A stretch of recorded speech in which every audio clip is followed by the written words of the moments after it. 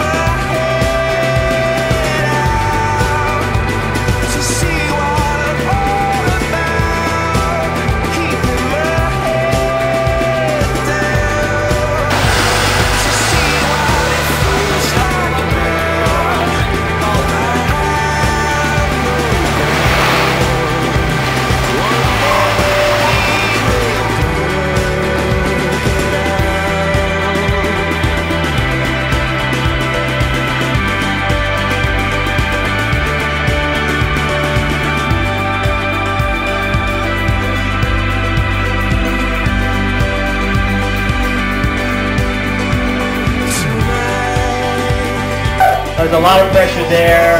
We were ranked pretty well, and uh, we had a really awesome regatta there. Hit a lot of ships, and won the Athens Olympics.